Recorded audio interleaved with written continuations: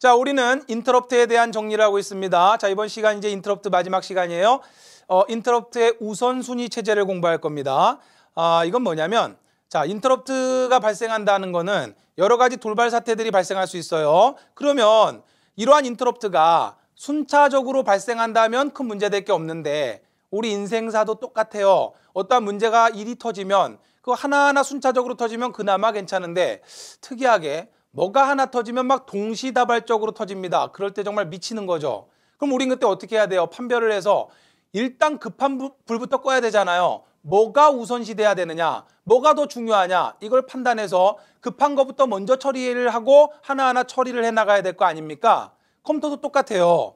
운영체제가 자 윈도우즈가 수많은 프로그램들과 이 컴퓨터 시스템의 이 복잡한 구조를 막 제어하다 보면 여러 가지 인터럽트 요청들이 들어올 수 있어요. 그러면 그러한 인터럽트 요청은 우선순위를 미리 만들어두고 어느 놈을 먼저 처리해야 하느냐 이러한 것들을 운영체제가 판단을 해야 됩니다. 자, 그 중에서도 이제 이번 시간에 공부할 내용은 하드웨어에 문제가 발생했을 때 하드웨어에 문제가 발생했을 때 어느 하드웨어에게 우선권을 주느냐 자, 그걸 어떻게 우선권을 운영체제가 판단하느냐 이것을 이제 이번 시간 공부하는 거예요. 자, 우리 적어도 뭘 공부하는지는 알고 시작을 해야 되는 거예요. 자, 여러 가지 인터럽트 요인 중에서 그 중에 하드웨어적 인터럽트에서 여러 장치들이 있을 거 아니에요.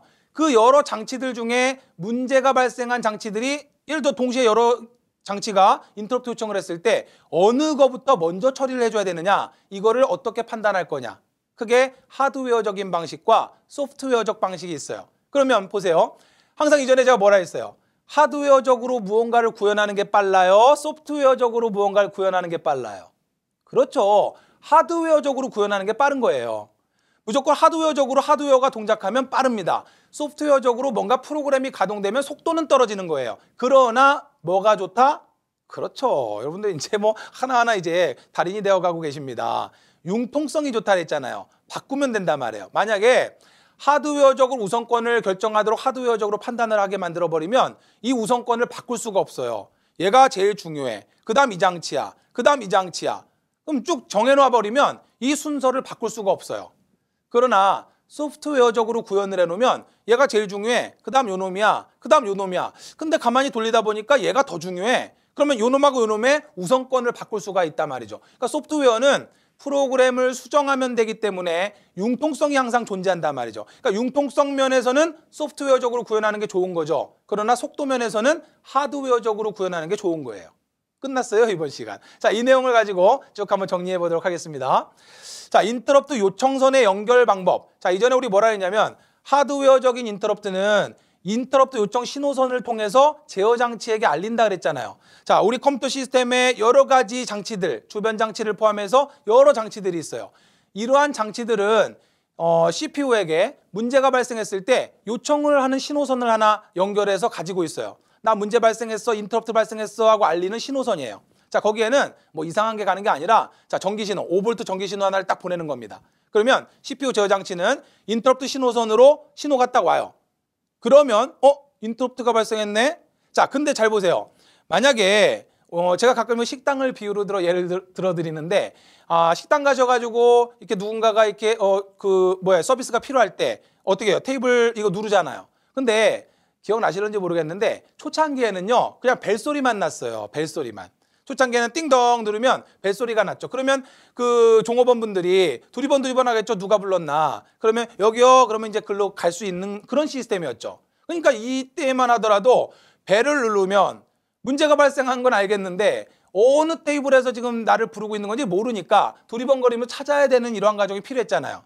요즘엔 어때요? 띵동 누르면은 번호가 딱 나오고 테이블마다 번호가 다 부여돼 있기 때문에 바로 알 수가 있죠. 그죠? 요거 잘 기억해 두세요. 자, 따라서 지금부터 이제 우리 공부할 거는 뭐냐면 이 하드웨어 장치들이 인터럽트가 발생하면 띵동 하고 신호를 하나 보냅니다. 그 신호를 신호선을 연결하는 인터럽트 요청선을 연결하는 방법을 크게 세 가지로 구분을 합니다. 자, 첫 번째가 뭐냐면 단일 요청 해선 방법이에요. 이건 뭐냐면 인터럽트를 요청하는 신호선 하나가 CPU에 무슨 장치와 연결되어 있다? 그렇죠. 제어 장치와 연결되어 있어요. 연산 장치하고 연결될 이유가 없잖아요. 어, 관리 감독하는 건 제어 장치니까. 자, CPU의 제어 장치하고 이 여러 컴퓨터 시스템의 장치들이 인터럽트 요청 회선을 쓰는데 문제는 뭐냐면 이 장치들이 하나의 요청 회선을 공유한다는 거예요. 바로 이 경우가 뭐냐면 번호가 안 떠요. 그냥 그냥 야 내가 문제 발생했어 그러면은 아, 요 놈이 전기 신호선 1을 하나 딱 보냅니다. 그러면 이1 신호가 제어 장치로 이렇게 들어와요. 다시 말하면 5V 전기 신호 하나 보내는 거예요. 자, 5V 전기 신호 딱 보내면 제어 장치는 인터럽트 요청 신호선으로 자, 이렇게 1이 들어왔다 그러면은 아, 뭔가 문제가 발생했구나. 자, 이것을 이제 제어 장치가 파악을 해요. 자, 그런데 자, 색깔을 좀 바꾸고요. 문제는 뭐냐면 자, 이게 아까 그 경우예요. 띵동 했는데 어느 테이블에서 지금 누른 건지를 난 지금 모른단 말이에요. 그러니까 이제부터 뭐 해야 돼요? 어느 테이블에서 다시 말하면 어느 장치가 요청한 거냐? 지금 CPU는 몰라요. 1신호가 들어온과 동시에 문제 발생했구나. 인터럽트가 발생했구나. 이건 알았는데 이제 인터럽트 처리 루틴이 가동되겠죠? 그러면 이제 인터럽트 처리 루틴에서 어느 놈이 문제가 발생했는지를 찾아야 된단 말이에요. 이해되셨나요? 자, 그러면 단일 요청 회선 방법은 당연한 거죠. 외우는 게 아니라. 이걸 공유해 쓰다 보니까 어느 놈이 요, 어, 청을 했는지 모르기 때문에 반드시 어, 느 놈이 요청을 한 건지를 찾는 과정이 필요합니다. 됐나요? 자, 하나의 회선에 여러 개의 장치가 연결되어 있기 때문에 어떤 장치가 인터럽트를 요청했는지를 어, 판별해주는 기능이 필요하다. 자, 바로 어, 그러한 방법이 소프트웨어적 방법의 폴링이라고 하는 게 있고 하드웨어적 방법의 daisy chain이 있어요. 자, 폴링이다, daisy chain이다, 또 외계어, 외계어 등장했는데 이게 뭐냐면 어느 놈이 문제가 발생했느냐 찾아야 되는데 이걸 소프트웨어적으로 찾는 방법이 있고 하드웨어적으로 찾는 방법이 있는데 찾는 순서가 있어요. 자, 좀 이따 공부를 할 거예요. 자, 일단 기억을 해주세요. 아, 요청 신호선이 하나예요. 그러니까 인터럽트 발생했을 때 전기 신호 하나 딱 보냅니다. 그럼 제어 장치는 1신호 5V 전기가 딱 들어오면 어, 인터럽트 생겼네? 이걸 파악해요. 근데 문제는 어느 놈이지? 이걸 몰라요. 따라서 어느 놈이냐, 이놈이냐, 이놈이냐, 이놈이냐를 찾아야 되는데 이거를 그냥 막 찾는 게 아니라 지정된 순서에 의해서 찾아요. 어느 놈이 제일 중요한 장치냐 미리 지정해 놨어요. 가장 중요한 장치한테 먼저 너 문제 발생했니? 하고 물어봐요. 나 아닌데? 그러면 자, 우선순위에 따라서 다음 장치한테 물어봐요. 너 문제가 발생했니? 나 아닌데? 그럼 또 그 다음 장치한테 물어봐요. 자, 우선순위를 미리 정해놓고 그 우선순위에 따라서 물어본단 말이죠. 그럼 보세요. 1번으로 우, 중요한 우선, 우선순위 장치 2번, 3번. 1번한테 물었더니 아니래요. 그 다음에 계속 있다고 해봐요. 2번한테 물었더니 얘도 아니래요. 어, 3번이 나랍니다. 그러면 요 놈의 인터럽트를 처리하게 되는 거죠. 그러면 인터럽트를 처리하면서 어떻게 했어요? IEN 신호를 0으로 만들어 버린다 그랬죠? 그렇죠? 그러면 이 인터럽트 요청 신호선으로 신호가 못 들어오게 만들어 버리는 거예요. 이해되셨나요? 그러면 어떻게 돼 버려요? 예를 들어서 6번 장치가 얘도 문제가 발생했었다라고 예를 들어 보자고요. 그러면 얘를 먼저 처리하기 때문에 얘는 처리가 된다 안 된다? 안 되는 거예요. 이 우선순위를 하드웨어적으로 순서를 정하느냐 아니면 프로그램을 짜서 순서를 정하느냐에 따라서 소프트웨어적으로 이런 걸 결정할 때 우린 폴링 방식이라고 하고 하드웨어적으로 결정할 때 daisy chain 방식이라 그래요. 이게 어떻게 하는지는 잠시 뒤에 공부를 할 겁니다. 전체적인 그림만 그리세요. 아시겠죠? 아, 인터럽트 요청 신호선을 하나를 공유하다 보니까 어느 장치가 인터럽트가 발생했는지를 찾아야 돼. 근데 그 찾는 순서가 있단 말이에요. 그 우선순위에 따라서 요 놈이 먼저 인터럽트 두 개가 동시에 인터럽트가 발생했다 할지라도 우선순위에 따라서 검사를 하기 때문에 요 놈의 인터럽트 처리로 들어가면 인터럽트 허용을 0을 만들어 버리기 때문에 동시에 발생한 우선순위가 낮은 장치 인터럽트 처리는 된다 안 된다? 안 되는 거예요. 됐나요? 이제 이거 다 처리가 끝나고 나면 얘는 다시 요청해야 되는 거죠. 오케이 됐습니다. 자, 인터럽트를 처리를 하기 위해서 뭐가 필요해요? 인터럽트 처리 루틴과 인터럽트 서비스 루틴의 두 단계가 필요하죠. 처리 루틴 단계에서 장치를 찾아야죠. 어느 놈이 문제가 발생한 건지 찾아야 되는 거예요. 그 다음 인터럽트 서비스 루틴 넘어가야 되겠죠. 당연한 이야기죠. 두 번째, 자 다중 요청 회선 방식입니다. 뭐 설명드릴 거 없어요. 제각각 전용선을 갖는 거예요. 인터럽트 요청하는 신호선을 전용선을 가져요. 그리고 얘들은 나 인터럽트 발생했어 하고 신호 보내면은 CPU가 각각의 신호가 무슨 장치와 연결되어 있는지를 알아요. 무슨 말씀인지 이해되세요? 자, 이 장치, 이 장치 다 따로 연결되어 있기 때문에 자, 여기로 신호가 들어오면 어느 놈, 자, 여기로 신호가 들어오면 여기로 신호가 들어오면 각각 어느 장치인지를 CPU 제어 장치 이미 알고 있어요. 그러면 이건 어때요? 그렇죠. 누르면 번호 뜨는 거예요. 띵동 번호가 떴어요. 아, 5번 테이블 바로 가죠. 자, 그러면 여기서 외우지 마시고 뭐가 필요 없어요? 그렇죠. 판별하는 과정이 필요 없는 거예요. 요청과 동시에 야 나 문제 발생했어 인터럽트 처리 좀 해줘 신호 보냈단 말이죠 그럼 CPU는 이미 알아요 이 장치가 인터럽트를 요청하면서 이 CPU는 벡터 값을 이미 벌써 찾아서 이 장치가 어, 문제 발생했을 때 해결하는 인터럽트 서비스 루틴 구간으로 바로 넘겨버립니다 이해되셨어요? 당연한 거잖아요 찾는 과정이 필요 있다 없다? 없다 자, 각 장치별로 별도의 인터럽트 요청 신호선을 따로 갖는 겁니다. 자, 모든 장치들이 서로 다른 요청회선으로 연결되어 있기 때문에 자, 연결되어서 장치 번호를 바로 전송을 해요. 내 지정된 장치 번호를 보내면서 신호를 보내버립니다. 따라서 인터럽트를 요청한 장치를 바로 판별할 수 있어요. CPU는 인터럽트 요청과 함께 어느 장치가 문제 발생한 건지 바로 파악이 가능하다. 따라서 인터럽트 처리 루틴이 필요하지 않다. 이게 무슨 이야기예요? 인터럽트 처리 루틴 중에서도 뭐가 필요하지 않다는 거예요? 물론 상태값 저장하고 나중에 복구하고 이거는 필요하죠. 근데 인터럽트 처리 루틴 중에 가장 중요한 원인 파악 과정이 필요 없다 이 소리예요. 뭐가 문제가 발생했는지 이미 다 알기 때문에 파악할 필요가 없다. 두리번거릴 필요 없다 이 소리예요. 이 피, 이거 두리번거리는 걸 없앴다. 그냥 바로 보면 아 5번 테이블 됐어요? 오케이 원래 알면 끝나는 겁니다. 자, 인터럽트 벡터를 사용한다. 이 인터럽트 벡터라고 하는 건 바로 분기 주소값을 찾아서 해당 장치별로 몇 번지로 가야 문제 해결이 가능한지 인터럽트 서비스 루틴 구간의 분기 주소값 그걸 바로 찾아서 넘어가기 때문에 인터럽트 벡터를 사용한다. 이렇게 이야기하는 겁니다. 자, 인터럽트 벡터는 뒤에 여러분들 어, 표 보시면 나와 있으니까 아실 수 있죠. 그죠? 자, 혼합 요청 회선 방식은 자, 요게 이제 아까 뭐였어요? 요게 단일 요청 회선이었잖아요. 단일 요청 회선을 여러 개를 둬서 이렇게 묶어 버리는 거죠. 자, 1번부터 5번 장치는 이, 이 요청선을 쓰고 그 다음에 6번부터 10번 장치까지는 이 요청선을 쓰고 이렇게 섞어 쓰는 방식이에요.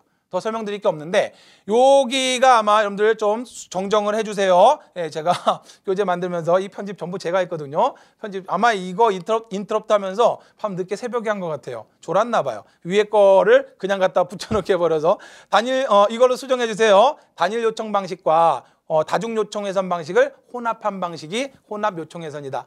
그게 중요한 건 아니니까 좀 이쁘게 봐주세요. 물론 나중에 지금 저기 개정판을 나중에 사신 분들은 어, 다 고쳐져 있겠죠.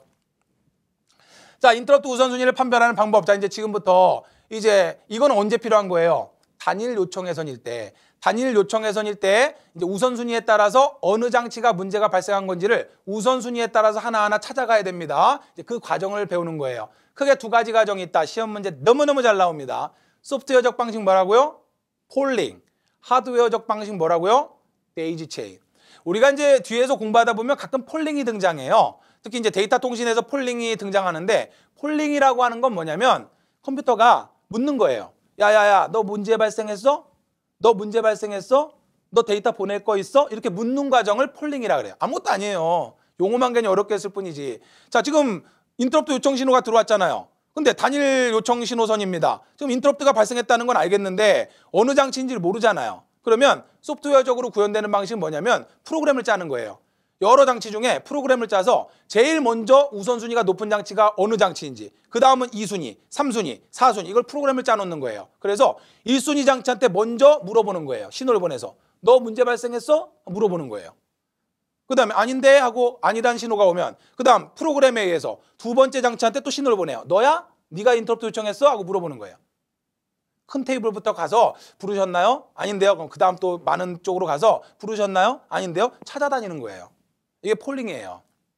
무슨 말씀인지 이해되셨나요? 그러니까 폴링은 느려요. 근데 좋은 건 뭐냐면 이 우선순위를 어떻게 할 수 있다? 프로그램을 바꾸면 되니까 바꿀 수 있다. 융통성이 있다. 끝. 자 그러면 인터럽트 우선순위를 판별하는 방법은 크게 폴링과 데이지 체인과 병렬 우선순위 부여 방식이라고 하는 게 있다. 이거는 판별할 이유도 없는 겁니다. 이따 공부할 거고 자 폴링과 데이지 체인이 중요한데 폴링은 소프트웨어적 방식이다. 꼭 암기하세요. 데이지 체인은 하드웨어적 우선순위 판별법이다. 특히 시험 문제는 얘가 잘 나와요. 다음 중 하드웨어적으로 어, 인터럽트 우선순위를 판별하는 방법이 뭐냐? 데이지 체인. 이따 볼 거예요. 자 폴링 방식은 소프트웨어적으로 처리하는 거예요. 다시 말하면 문제가 발생한 장치를 찾는데 그 우선순위를 소프트웨어적으로 프로그램으로 짜서 결정을 한다 이 소리예요. 자, 인터럽트 요청 신호 플래그를 차례로 검사해서 인터럽트 원인을 판별하는 방식이다. 자, 프로그램상에서 우선순위의 변경이 가능하다. 반응 속도가 느리다. 외울 필요 없잖아요. 소프트웨어적이니까 어, 우선순위 변경, 융통성이 있어요. 속도는 느려요. 됐나요? 오케이. 회로가 간단하고 융통성이 있어요. 별도의 하드웨어가 필요 없기 때문에 경제적이에요. 그러나 속도는 느려요. 자, 폴링 아무것도 아니에요. 나중에 심화 학습을 할 때 여러분들 유수의 강의 노트에 있는 내용 읽어도 지금 이해 못 하실 거예요. 읽지 마세요. 자, 일회독 특히 하시는 분들 괜히 또 읽고 이게 무슨 소리예요? 질문하시면 예, 제가 답변 안 해드립니다. 아직 보실 단계가 아니에요. 자, 그러면 나중에 심화 학습을 할 때 제가 과연 폴링이 하나하나 물어본다 그랬는데 그게 무슨 이야기인지를 실제 우리 유수의 강의 노트에 있는 회로도를 제가 분석해 드리면서 이런 겁니다 하면 아하 하실 겁니다. 아시겠죠? 지금은 그냥 아 하나하나 묻는다고요. 연결된 장치들한테 우선순위 프로그램된 그 순서에 따라서 자 제일 중요한 장치한테 먼저 묻고 아니다 그럼 그 다음 장치한테 묻고 그래서 프로그램된 우선순위 순서에 따라서 묻는 거예요. 그래서 어느 장치가 문제가 발생하는지 찾는 과정 이걸 폴링이라 그래요. 무슨 방법? 소프트웨어적 방법. 끝.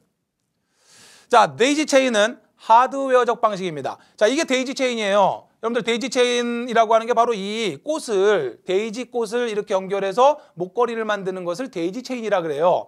아, 이런 꽃을 한번 꽃 묶음을 선물을 받아보신 적이 있습니까? 자, 이게 데이지 체인이에요. 쭉 일렬로 묶는다. 자, 이 데이지 체인의 의미는 뭐냐면 여기에서 이름을 가지고 온 거예요. 자, 꽃을 쭉 연결해서 목걸이를 만드는 이 데이지 꽃, 꽃 목걸이.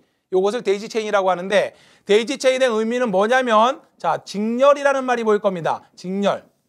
직렬이라는 말은 요놈, 다음에 요놈, 다음에 요놈, 다음에 요놈. 이게 직렬이에요. 쭉 연결하는 거예요. 데이지 체인은 왜 데이지 체인이라 그러냐면 보세요. CPU 제어 장치에서 CPU 제어 장치에서 중요한 장치, 중요한 장치는 어떻게 우선권이 되냐면 무조건 가까이 있는 장치가 중요한 장치예요. CPU에서 가까이 있는 장치부터 신호선 하나를 연결해요. 그리고 그 신호선을 다음 장치한테 연결해요. 또 그 신호선을 다음 장치한테 연결하고 이렇게 직렬로 쭉 연결합니다. 그러면 신호를 여기서 보냈을 때 얘가 1순위죠. 얘가 아니면 얘한테로 넘어오겠죠. 얘가 아니면 얘한테 넘어오겠죠. 얘가 아니면 얘한테 넘어오겠죠. 이게 우선순위예요. 따라서 신호 하나를 딱 보냅니다. 그럼 이 회로에서 내, 내가 어, 인터럽트 요청했다라고 하면 얘한테 응답 신호를 보내요. 근데 아니다 그럼 다음 장치한테 넘겨줘요 신호를. 그럼 얘가 내가 인터럽트 요청했다 그럼 나야 하고 알립니다. 근데 내가 아니다 그럼 또 다음 장치에 또 넘겨요. 이런 식으로 직렬로 연결된 이 순서에 따라서 신호가 다음 다음 다음 다음 장치한테 넘어가게 만든 거죠. 그러니까 하드웨어적으로 쭉 연결한 거예요. 우선순위 바꿀 수 있어요 없어요? 없어요. 이선 끊어버리고 이렇게 연결하지 않는 한 바꿀 수가 없는 거예요. 대신에 신호 하나 쭉 보내서 쭉 보내면서 검사를 하기 때문에 속도는 굉장히 빨라요. 그러니까 정리합니다. 아무것도 아니에요. 데이지 체인 우선순위 어, 판별 방식은 CPU부터 가까운 장치부터 쭉 신호선 하나로 쭉 연결하는 거예요. 그래서 자 인터럽트 요청 신호가 딱 들어왔어요. 근데 단일 회선 방식이에요. 그러면 누가 인터럽트 발생했는지 모르니까 찾아야 되겠죠. 찾는 방식을 신호 하나를 딱 보내요. 그러면 연결된 장치로 넘겨 넘겨 넘겨 넘겨가면서 문제가 발생한 장치가 나야 라고 할 때 그 신호가 왔을 때 응답 신호를 보내줘요. 그럼 그게 어떻게 동작을 하는 건가요? 궁금하잖아요. 그죠? 심화 학습에서 공부해요. 그런데 그런 내용까지 나오는 건 아니기 때문에 나중에 아하 궁금하니까 그걸 풀어드리는 거지 시험에 나오는 건 이것만 딱 기억하시면 되는 거예요. 데이지 체인은 하드웨어적으로 우선순위를 판별하는 기법이다. 그 다음 인터럽트를 발생하는 모든 장치들 직렬 이게 중요해요. 그래서 데이지 체인이에요. 직렬로 일렬로 쭉 연결해서 신호 하나를 보내서 계속 다음 다음 장치로 넘어가면서 따라서 이 우선순위를 바꿀 수가 없어요. 그 다음 인터럽트 신호선을 공유하면서 연결 순서에 따라서 우선순위가 결정돼요. 그 다음 벡터에 의한 인터럽트 처리 방법이다. 자 결국 그 신호를 계속 넘겨받아서 문제가 발생한 장치로 도착했을 때 그 장치는 자기 장치 번호와 함께 응답 신호를 보내줘요. 그 장치 번호를 가지고 이제 인터럽트 서비스 루틴의 주소를 찾기 때문에 벡터에 의한 인터럽트 처리다 이렇게 이야기하는 거예요. 속도가 빨라요. 근데 뭐가 없다? 융통성이 없다. 일단 하드웨어적으로 구축하기 때문에 비경제적이고 바꿀 수가 없어요. 우선순위를 바꿀 수가 없어요. 자 이런 거 외우는 거 아니죠. 그죠? 그러니까 시험 문제에 다음 중 잘못 설명된 것을 골라라. 인터럽트의 우선순위를 판별하는 방법은 소프트웨어적 방식과 하드웨어 어, 폴링과 하드웨어적 방식 데이지 체인이 있는데 데이지 체인은 속도도 빠르고 융통성이 좋다. 맞아요? 틀려요? 틀리죠. 얘는 순서 못 바꿔요. 됐나요? 오케이. 자, 인터럽트 벡터가 바로 이겁니다. 여러분들 그 유수의 강의 노트 보시면 얘가 나와 있을 거예요. 자, 이 주소값이에요. 여기 나온 이 숫자가 주소입니다. 인터럽트 서비스 루틴 구간의 주소. 이걸 벡터 주소라 그러는 거예요. 그래서 예를 들어서 뭐 무슨 문제가 발생했느냐, 뭐뭐 데이터가 뭐 거부됐느냐, 뭐 소프트웨어 instruction 명령 처리에 대한 인, 어, 그 인터럽트냐, 자 이런 거에 따라서 분기 주소 값들이에요. 이걸 벡터 값이라고 하는 거예요. 그리고 이 표를 뭐라 그래요? 인터럽트 벡터 테이블이라고 하는 거예요. 됐나요? 오케이. 자, 따라서 장치 번호를 보내오면 그 장치 번호 값을 가지고 여기서 찾아서 벡터 주소 값을 찾아서 해당 인터럽트 서비스 루틴 구간으로 넘어가게 되는 겁니다. 오케이. 병렬 우선순위 방식. 인터럽트가 발생한 장치를 개별적 회선으로 연결한다. 아까 왜 다중회선 방식이 있었잖아요. 그죠? 자, 따라서 얘는 뭐 우선순위 판별하고 뭐 이런 거 할 필요가 없는 거예요. 그냥 어차피 장치 번호 오기 때문에 뭐그 장치 번호에 따라서 바로 벡터 테이블에서 찾아서 넘겨버리면 끝나는 겁니다. 그래서 뭐 크게 시험에 나올 게 없어요. 자, 소프트웨어적 방식과 하드웨어적 방식의 비교 나왔을 겁니다. 종류는 소프트웨어적 방식 폴링, 하드웨어적 방식은 daisy chain. 얘는 일단 소프트웨어적이니까 경제적이에요. 하드웨어가 안 들어가니까. 자, 얘는 비경, 비경제적인데 얘는 별도의 하드웨어가 필요 없죠. 얘는 하드웨어가 필요해요. 따라서 속도는 얘가 빨라요. 하드웨어가. daisy chain이 빨라요. 그러나 융통 반응 속도는 느리지만 융통성은 누가 좋다? 소프트웨어적 방식의 폴링 융통성이 좋다. 다시 말하면 우선순위 순서를 바꿀 수 있다 이 소리예요. 됐나요? 자, 인터럽트와 서브, 서브, 어, 서브 루틴의 비교. 자, 그러면 요거 이제 개념 이해를 하셔야 되는데 인터럽트도 루틴이었죠. 그렇잖아요. 그래서 우리 인터럽트 처리 루틴, 인터럽트 서비스 루틴이라 그랬잖아요. 루틴이 뭐라 그랬어요? 그렇죠. 루틴이라고 하는 것은 프로그램, 특정 기능을 수행하는 프로그램 조각을 루틴이라고 한다 했잖아요. 전체 프로그램 중에 프린트와 관련된 내용을 담고 있는 구간, 이것을 루틴이라고 한다 했죠. 서브 루틴이라고 하는 건 뭐냐면 자 이제 우리 나중에 C 언어 공부하시면 우리 공부할 건데 자 서브 루틴은 뭐냐면 메인 프로그램이 이렇게 있어요. 얘는 뭐로 생각하면 되냐면 후렴으로 생각하면 되는 거예요. 후렴. 자 우리 애국가 생각해 보세요. 자, 애국가 동해물과 백두산이 마르고 닳도록 쭉 가다가 맨 끝에 무궁화 삼천리 화려강산 1절부터 4절까지 계속 나오잖아요. 후렴구. 다시 말하면 무슨 이야기냐면 프로그램을 짜다 보면은 특정 구간이 계속 필요할 때가 있어요. 똑같은 게. 그러면 그거를 매번 똑같은 걸 프로그램을 작성하다 보면 시간 낭비고 어, 괜히 여러 가지로 낭비잖아요. 그러니까 계속 반복되는 구간이 있으면은 아예 별도의 프로그램을 만들어 버려요. 별도의 루틴으로 만들어 버려요. 그러면 자, 주, 어, 주 프로그램 이걸 뭐라 그러냐면 메인 루틴이라 그래요. 메인. 이 메인 루틴에서 쭉 프로그램이 실행하다가 필요한 기능, 얘가 필요해. 그럼 미리 따로 프로그램을 따로 만들어 버리는 거예요. 따로. 따로 만들어 버리고 필요할 때 불러요. 불러서 얘를 부릅니다. 호출합니다. 그럼 얘를 실행하고 끝나면 다시 돌아가요. 또 실행하다가 이 기능이 필요할 때 또 콜을 해버립니다. 그래서 다시 돌아와요. 이해되셨나요? 애국가 1절부터 4절까지 그 후렴구 쓰기 귀찮으니까 후렴구 아닌 것만 1절부터 4절까지 쓰고 맨 뒤에다 후렴이라고 이렇게 써놔버려요. 그리고 여기, 여기다가 중간에다가 후렴, 후렴, 여기다가 후렴 써놓고 그러면 후렴, 그럼 이리로 넘어와서 보면 되는 거죠? 자, 2절 부르다가 후렴, 그럼 여기 넘어와서 보면 되죠? 이거예요. 그러니까 서브루틴이라고 하는 거는 주 프로그램이 있고 이 주 프로그램을 작성하다 보니까 반복되는 내용이 나와요. 그 반복되는 내용을 아예 별도로 별도의 루틴으로 만들어 버리는 거예요. 이걸 서브루틴이라 그래요. 그리고 자 하다가 얘를 매번 똑같은 거에다 프로그램 넣고 여기다 또 넣고 그러면 프로그램만 길어지고 괜히 복잡해지잖아요. 그러니까 아예 별도의 루틴으로 만들어 버린 다음에 자 여기서 분기가 일어나죠. 자 이리로 가서 얘를 다 실행하고 다시 돌아오죠. 그리고 쭉 실행하고 또 필요할 때 콜 다시 또 분기가 일어나죠. 실행 다 끝나고 돌아오죠. 어때요? 인터럽트랑 똑같잖아요. 그러니까 인터럽트도 루틴이에요. 자, 다시 말하면 이게 똑같다는 겁니다. 서브루틴은 자, 함수라고도 하고요. method라고 합니다. 프로시저라고도 하는 건데 뒤에서 이제 배울 거예요. 루틴 또는 함수, method, 프로시저 다 비슷한 의미의 용어로 같은 의미의 용어예요. 자, 이거 무슨 이야기냐면 전체 프로그램이 있다면 메인 루틴이 있고요. 서브 루틴이 있습니다. 부 프로그램이에요. 그러니까 이 서브 루틴은 이 메인 루틴 안으로 다 들어가서 작성해도 되지만 그러면 너무 반복적인 게 계속 나오니까 아예 그냥 별도로 빼버리는 거예요. 그래 놓고 그게 나올 때 콜 해서 분기가 일어나고 분기에서 넘어갔다가 쭉 실행하고 다시 돌아오고 쭉 실행하다가 필요할 때 또 넘어가서 불러서 분기하고 그러니까 호출한다는 것은 실제 프로그램에서 메모리상에서 분기가 일어나는 거예요. 다시 돌아오고. 이해되셨죠? 이걸 서브루틴이라고 이야기합니다. 그러면 자, 인터럽트 서비스 루틴이나 인터럽트 처리 루틴도 일종의 루틴이다. 서브루틴이다. 맞아요, 틀려요? 맞는 거예요. 똑같은 거예요. 서브루틴의 일종이에요. 서브루틴 중에 인터럽트를 처리하는 것과 관련된 서브 루틴이죠. 그래서 인터럽트 서비스 루틴, 인터럽트 처리 루틴이라고 이름을 붙인 거예요. 됐나요? 오케이. 근데 일반 서브 루틴과 인터럽트를 처리하는 인터럽트 처리 루틴 간에는 약간의 다른 점이 있어요. 그걸 이제 비교하는 거예요. 자, 인터럽트는 어떤 특정한 상태가 발생했을 때 현재 실행 중인 프로그램이 일시 중단되고 그 특수한 상태, 뭔가 돌발 사태를 처리하는 자, 프로그램으로 분기한다. 그걸 처리하는 프로그램이 바로 인터럽트 처리 루틴이죠. 그다음에 원래로 복귀하는 게 인터럽트죠. 자, 인터럽트에 대한 설명을 하고 있는 거고 서브 루틴은 프로그램에서 계속 반복되는 내용이 나왔을 때 아예 따로 별도의 부분으로 만들어 놔 버리고 분기하고 실행하고 돌아오고 또 필요할 때 불러서 분기하고 실행하고 돌아오고 이게 서브 루틴이에요. 그러니까 비슷하죠. 그러니까 인터럽트의 처리는 결국 인터럽트 처리 루틴은 서브 루틴의 일종이다. 그러니까 같을 수밖에 없는 거예요. 근데 좀 특이한 부분이 있다는 거죠. 자, 공통점은 일단 복귀할 때 당연히 분기할 때 복귀 주소를 저장해야 된다는 거. 당연한 거죠. 이걸 스택에 저장합니다. 나중에 스택은 또 자세히 배운다 그랬어요. 별도의 처리 루틴으로 제어가 옮겨져서 자 제어가 옮겨진다는 거는 순서가 바뀐다는 거예요. 쭉 실행되다가 분기가 일어나니까 실행되는 순서가 바뀌죠. 그죠? 다음 명령이 아니라 건너뛰어 버리죠. 그걸 이제 어 제어가 바뀐다 이렇게 이야기를 하는 거예요.